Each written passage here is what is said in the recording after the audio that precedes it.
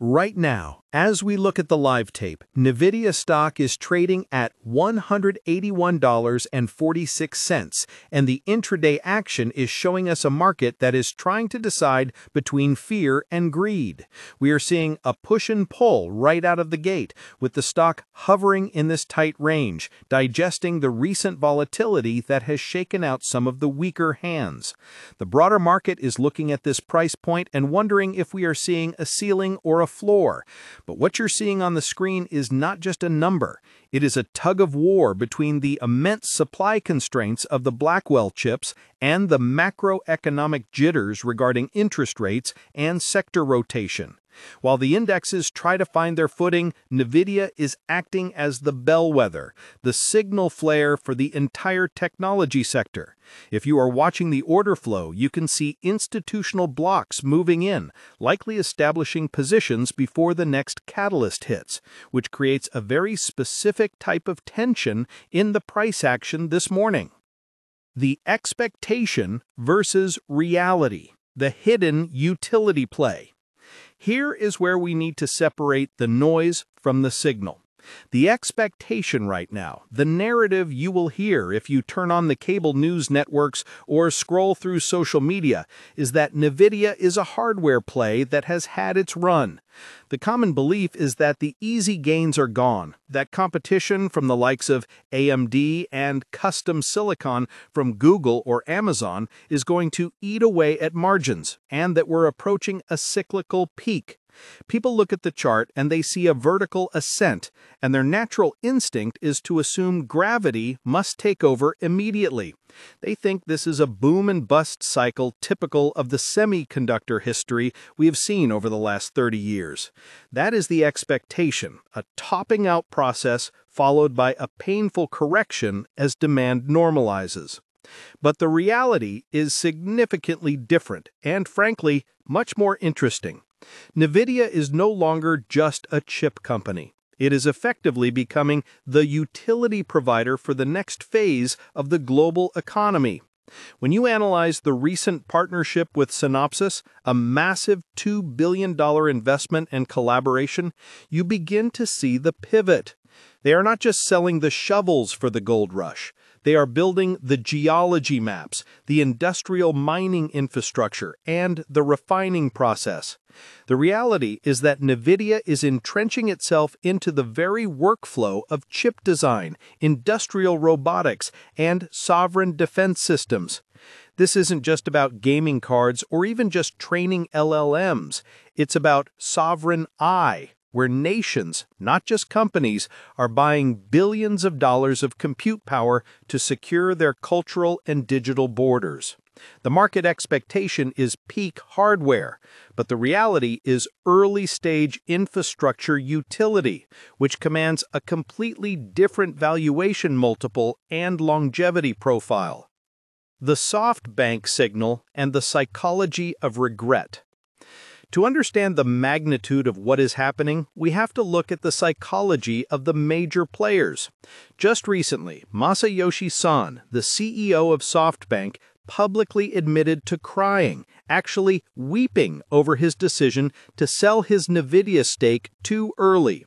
This is a man who manages one of the largest technology funds on the planet, a man who has seen everything and he is openly expressing deep regret over miscalculating the trajectory of NVIDIA stock.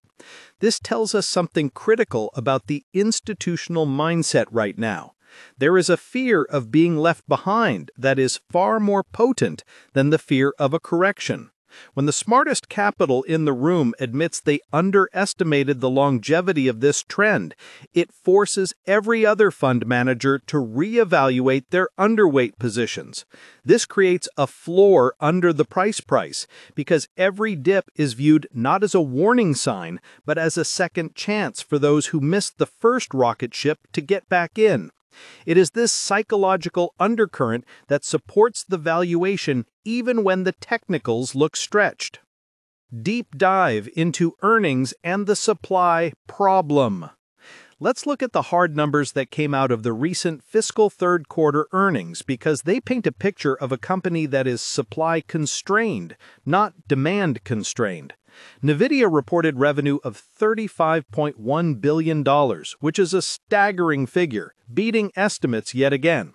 But the number that really matters is the data center revenue, which hit $30.8 billion. To put that in perspective, that single division is now generating more revenue than entire Fortune 100 companies do in a year. The gross margins held strong, hovering near that 74-75% range, which is unheard of for a hardware manufacturer. Usually, as you scale hardware, your margins compress because of manufacturing complexities. NVIDIA has defied this gravity because their pricing power is absolute. However, the market reaction was muted. Why?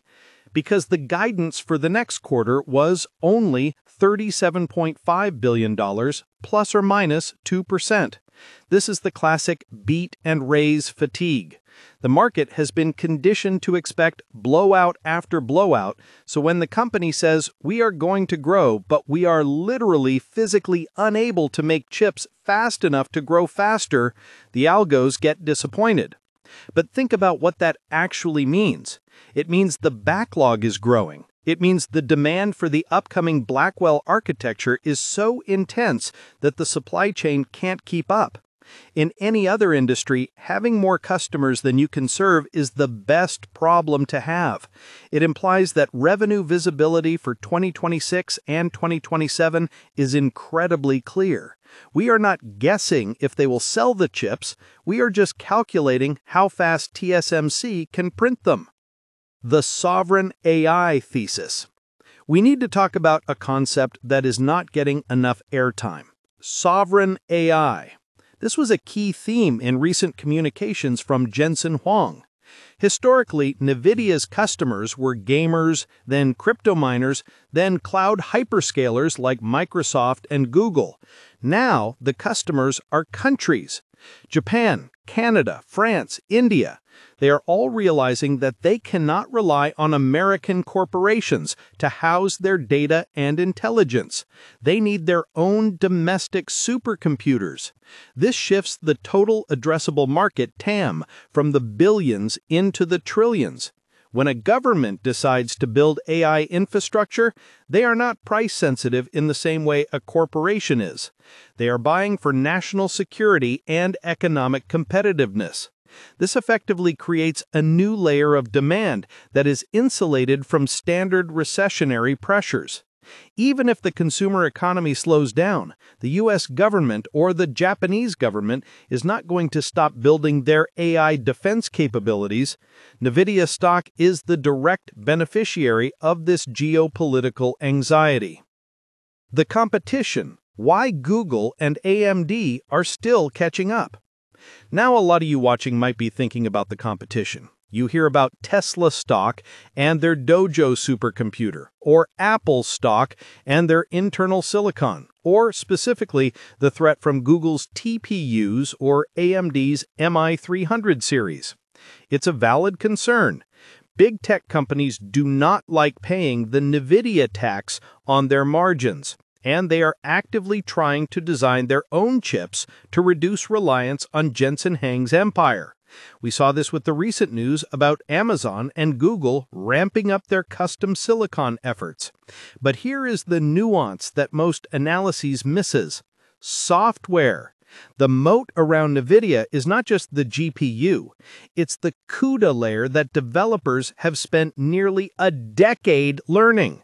If you're a developer using Schwab Intelligent Portfolios to manage your wealth, you know that switching costs are high. It's the same for AI engineers.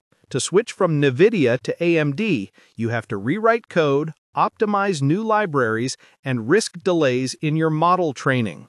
In the race to AGI, artificial general intelligence, speed is the only metric that matters. If switching to a cheaper AMD chip costs you three months of engineering time, you have already lost. The opportunity cost of being second is far higher than the cash cost of buying NVIDIA GPUs. So while competitors will chip away at the low-end inference market, the high-end training market, the premium tier, remains NVIDIA's fortress strategic partnerships, and the industrial metaverse. We also need to look at the industrial side of the business. The recent chatter about NVIDIA partnering with companies like Fanuc for robotics and the deeper integration with Tesla stock for autonomous driving suggests that the next leg of growth is physical AI. We're moving from chatbots to robots. NVIDIA's Omniverse platform is designed to be the operating system for this physical AI. They are creating digital twins of factories, car plants, and entire cities. This allows companies to simulate production before they spend a dime on real equipment. This is a recurring revenue software model that sits on top of the hardware sales. It transforms NVIDIA from a cyclical hardware vendor into a sticky software as a service SaaS powerhouse. This is why the valuation multiples might